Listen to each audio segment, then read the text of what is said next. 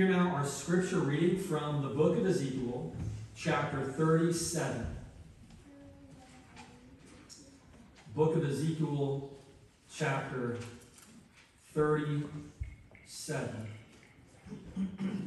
Remember that Ezekiel, prophet of Israel, he lived during the exile. He saw or witnessed, he was alive when Jerusalem was utterly demolished by Babylon, by Nebuchadnezzar, the commander of Babylon.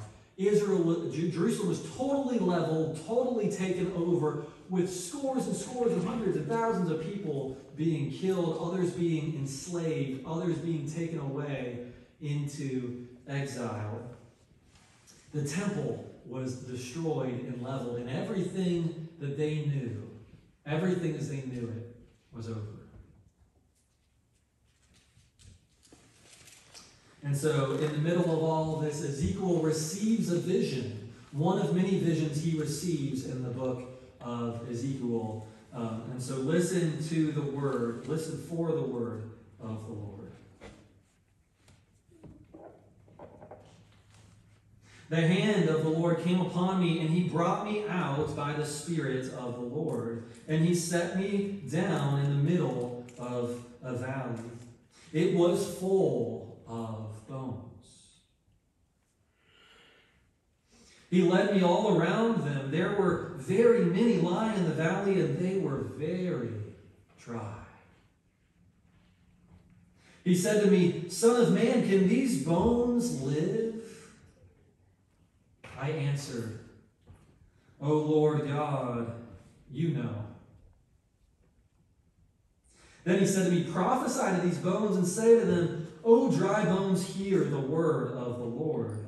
Thus says the Lord God to these bones I will cause breath to enter you, and you shall live. I will lay sinews on you, and you and will cause flesh to come upon you and cover you with skin, and put breath in you, and you shall live. And you shall know that I am the Lord. So I prophesied as I had been commanded, and as I prophesied, suddenly there was a noise, a rattling. And the bones came together, bone to its bone. And I looked and behold, there were sinews on them, and flesh had come upon them. And skin had covered them, but there was no breath in them. Then he said to me, Prophesy to the breath, prophesy, Son of Man, and say to the breath, Thus says the Lord God, Come from the four winds, O breath, and breathe upon these slain, that they may live. I prophesied as he commanded me, and the breath came into them, and they lived and stood on their feet, a vast multitude.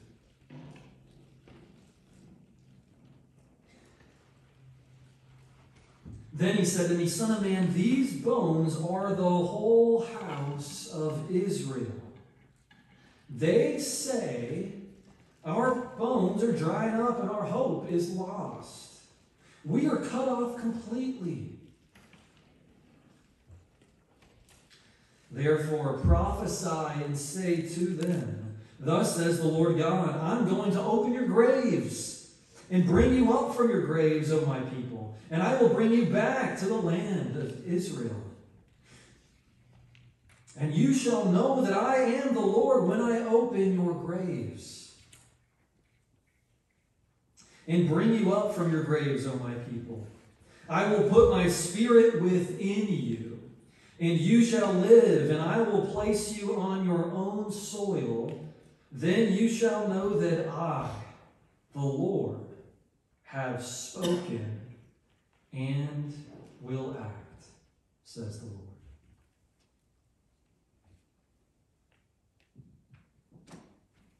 This is the word of God that belongs to us, the people of God.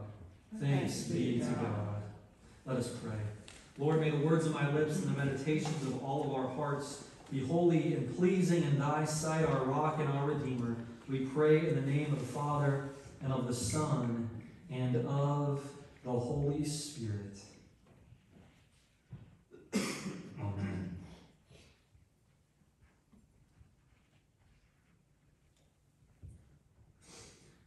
Now descend and shake the earth. Wake us into second birth. Now the quickening influence give. Blow, and these dry bones shall live. Now descend and shake the earth. Wake us into second birth. Now thy quickening influence give. Blow, and these dry bones shall live. Methodists used to sing that. That was Charles Wesley, one of his thousands of hymns that he wrote. Ezekiel here finds himself in the most hopeless of hopeless places imaginable.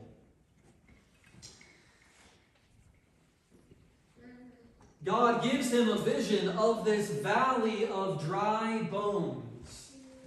He gives him a vision of what it would have looked like if he, if he could see Jerusalem years and years after it had been taken over by Babylon. Remember, Jerusalem is up on a hill, Mount Zion. If you go there today, Jerusalem's still up on a hill. He's looking down in the valley. It may even be the same valley that Jesus talks about when he talks about hell. He talks about the valley of Ben Hinnom which is the valley where in the Old Testament the wicked kings would even sacrifice children. He sees in this valley bones upon bones. We're not talking one or two or three sets. We're talking hundreds, hundreds, thousands, thousands, hundreds of thousands. He eventually says the whole house of Israel, which we know at this time is millions.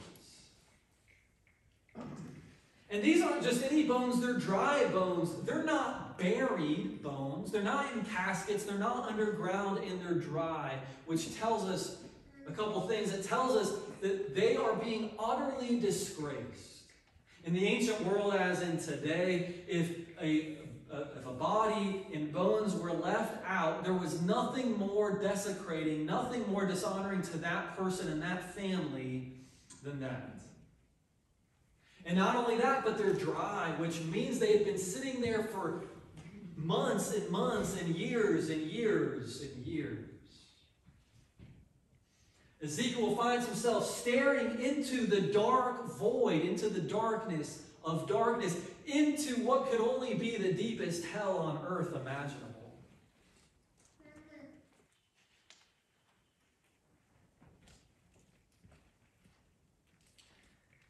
In the early centuries of the church, many Christians found themselves in what could be described as hell on earth. In those first couple centuries, Christians saw other Christians being killed left and right. They saw Christians being crucified and then lit on fire. They saw Christians offered into uh, the gladiator arenas and fed to the wild lions and hyenas. Everyone probably has heard of the Emperor Nero, who killed a lot of Christians. There is also Emperor Diocletian, who killed a lot of Christians. On one occasion, he killed, I think I told you all this, he killed um, a bishop of the church called Domnius. He killed Domnius, and he killed a ton of other Christians too. Now, Diocletian had, he was the emperor of, of Rome, and he had, obviously, so much money, he built all of these palaces. And when Rachel and I were so honored and, and just had the gift of going to Europe a year ago as a kind of late graduation, wedding, present kind of thing with family, uh, we went to Croatia and we went to this city named Split. And in this city, everyone said the thing you have to see, you have to see, is Diocletian's palace. Diocletian's palace. Okay, good, let's go see it. So as we're walking towards it, we're in this big city, and we're walking in the exact direction where I see this really high church spire. I go, that's funny. There must be a church right next to Diocletian's palace. We get closer and closer and closer, and then the map says that's it. And I go, that can't be it. There's a church steeple on it. And it turns out that it's the church of St. Domnius. You see, the very man that Diocletian killed as Diocletian was trying to wipe out the Christians, as Diocletian was trying to turn the church into a literal valley of dry bones. The church, in her wisdom, said, You know what? We know that we will be resurrected on the last day. And so we're going to name this church after the one who this emperor killed. And we're going to plant it right on top of what his palace used to be. And then we're even going to bury, bury Domnius's bones, his dry bones, into the basement of that church as a reminder that no matter the most powerful kings on earth, no matter the most powerful rulers on earth, they have no say. They have no say on what will happen to dry bones. Only God has that say. Only God has that say.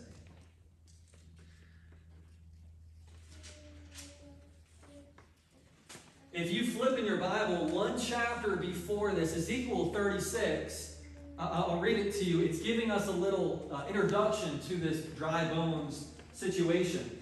Uh, it says, uh, Thus says the Lord, on the day that I cleanse you from all your iniquities, I will cause the towns to be inhabited, and the waste places, think about dry bones, the valley dry bones, waste places shall be rebuilt. The land that was desolate shall be tilled instead of being the desolation that it was in the sight of all who passed by. And they will say who and they will say, This land was desolate.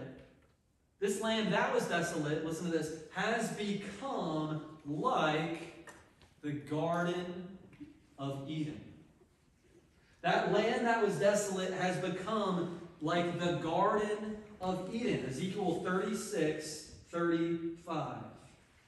And the waste and desolate and ruined towns are now inhabited and fortified.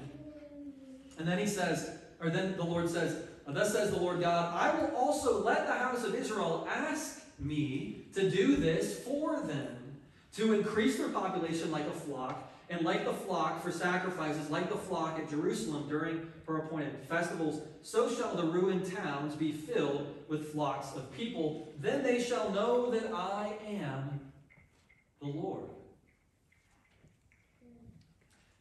Now, this is one of only less than a dozen times that the Garden of Eden is explicitly mentioned in the Bible outside of Genesis 2 and 3.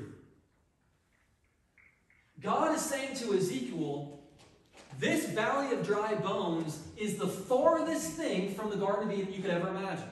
Think about it. Garden of Eden had to be up high, like on a mountain, because the rivers are flowing down, and it's full of life, the tree of life. What's the valley of dry bones? It's down low in a valley, not up high. It's dry. It doesn't have a river. And instead of the tree of life, it's a place of death. It's the most opposite as possible from the tree of life. And God's saying, I'm even going to take that place and I'm going to make it a place of life.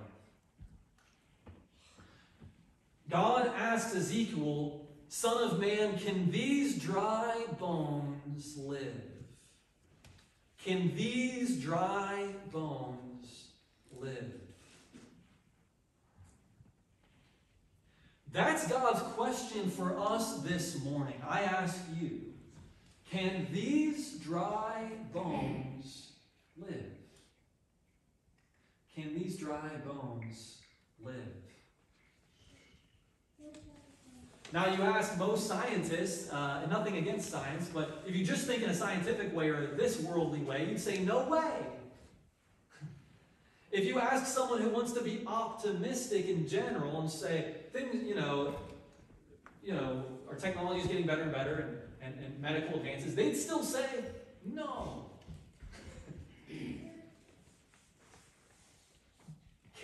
Can, these dry bones live? But also in our lives, there are dry bones in our lives. There are dry bones in our hearts.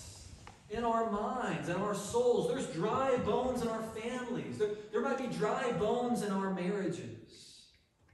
There might be dry, dry bones among our uh, children and siblings. There might be dry bones among our neighbors. Uh, Lord have mercy. There might be, yes, there's dry bones in the church. There's dry bones in North Carolina, in Liberty, in Julian, in this nation, in this world. There are dry bones everywhere. Ezekiel had every reason to be totally hopeless. He had every reason to be totally hopeless. I can't imagine what it would have been like 150 plus years ago to have seen one of the battlefields in the Civil War, to see brother on brother, to see so many dead, and to ask yourself can these dry bones live? Can this nation make it after this? Can something come after this? The trenches of World War I, World War II, can these dry bones live? On September 11, 2001, in all of that destruction, all of that rubble, for those who lived in New York City and those like us who may not live in New York but have seen all of this on TV, might have loved ones who were there, looking at all this death and destruction, can these dry bones live? Can they live? Can they live? Jesus may have been asking himself that when he was in the wilderness for 40 days and 40 nights. Jesus was tempted by the devil, and where was he tempted? In a dry place. Jesus tells us in the Gospel Matthew and Gospel Luke, when he casts out a uh, unclean spirit, he says, here's the King James, because this is how I remember it. The unclean spirits, unclean spirit walketh through dry places. Remember that? The unclean spirits walketh through dry places. So if you want to be in a place where the evil one is, where the devil is, be in a dry place. Be in a dry place. Fortunately, we're in the church. And in the church we're not in a valley, we're up on a hill, aren't we? It took, you took a couple steps to get up here. We're on a little mountain, aren't we? And we have waters, don't we? We have the waters of baptism here. We listen to the word, and as Paul says, we, Christ washes the church by water and the word. We're washed by water and the word. Remember, Paul says that. We are a place of water. We're a place not in the valley, but up on a mountain. When God is bringing these dry bones back to life, he tells us this is the house of Israel. In other words, if, if the world's going to be put together, he's going to put together his church, his people first. And then through his church, he's going to make the world new as well.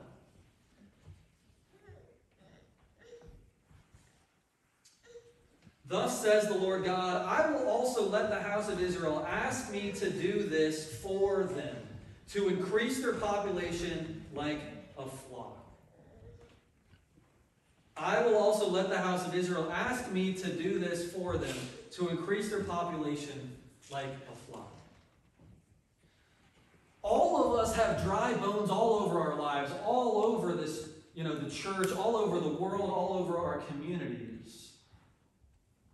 But God wants to wash us by His Word and by His water. He wants to cleanse us. He wants to renew us. He wants to make us new. And yet, here it says He wants us to ask Him. Remember, Jesus says, Anything you ask in my name will be given you. He, he wants us to ask. He wants us to worship in spirit and in truth and say, Lord, I have a lot of dryness in my life. Lord, there's a lot of dryness in my marriage. Lord, there's a lot of dryness in my family. Lord, there's a lot of dryness in my church. Lord, there's a lot of dryness in my neighborhood. Lord, unless you come and cleanse this place, it'll remain hell on earth. But if you come, I believe, I believe that you will turn this into a new Garden of Eden. And I believe you won't stop there. You will extend the branches of that garden so that all might taste and see that you are good. But he wants us to ask. He wants us to ask. And I'll end with this. Ezekiel here is called Son of Man, isn't he? Over and over and over. Ezekiel is one of the only ones in the Old Testament who's called Son of Man.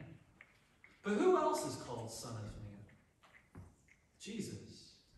And Son of Man, if you would read it in the original language in Hebrew, it's literally Son of Adam. Son of Adam. Jesus is the true second Adam. Everything Adam failed to do, Jesus does.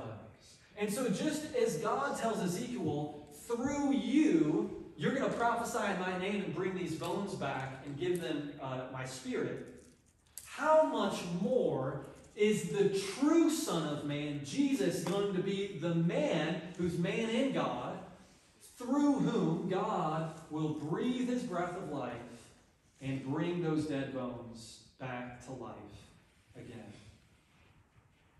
After all, where was Jesus crucified? On Golgotha, which means the skull. Remember that? Golgotha means the skull. And if you go there today, I've never been there. I'd love to go, but I, have seen pictures that the side of the Golgotha still looks like a skull. In other words, he died in the very place of death. He died in the very valley of dry bones so that through him there might be new life. There might be a new garden. There might be the church so that his light might shine in a dark world. And where was he buried? The Gospel John tells us he was buried in a garden. He was buried in a garden. You see, Jesus died. He lived his entire earthly life in the valley of, shadow, uh, valley of dry bones. He fasted 40 days in a valley of dry bones so that through his death, we might once and for all have access again to his garden. So, as we have access to his garden, he wants us to be the ones to extend his love, extend his light, extend his waters to a thirsty world. Lord knows we have a thirsty world, thirsty for all kinds of things. But only his water satisfies. Amen. Only his water satisfies. Amen. Amen. And we have a world of dry bones.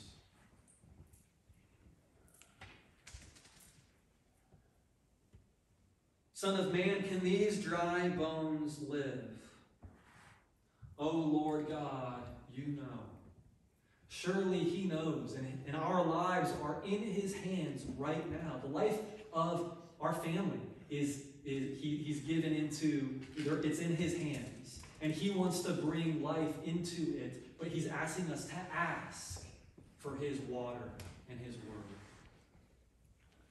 So, friends, in this wilderness season, in this wilderness time, may we ask him to bring his waters into our dry places. To do surgery on our hearts. I know some of us, when we have procedures, we might have a dry socket or a dry joint. I can't imagine how much that hurts. How much more would it hurt to have a dry heart? And yet, God wants to do surgery on us, divine surgery. He's the divine physician. And so, may we pray this week, every day, God, pour out your waters, pour out the waters of your Spirit. How does Psalm 23 end? You anoint my head with oil, and my cup runneth over. But what's the middle of this Psalm 23? I was in the valley of the shadow of death. That sounds a lot like where Ezekiel is, but he doesn't end there. He goes from the valley of the shadow of death to then a place where he's anointed with oil, his cup runs over, and then he's in the house of God forever. It sounds like Psalm 23, David went from a valley that's dry to a place that is no longer dry, but saturated with God's oil, the Spirit, the water of God's Word. And then he's in the house of God forever. So may it be for us. And may we extend his kingdom invitation to all we meet.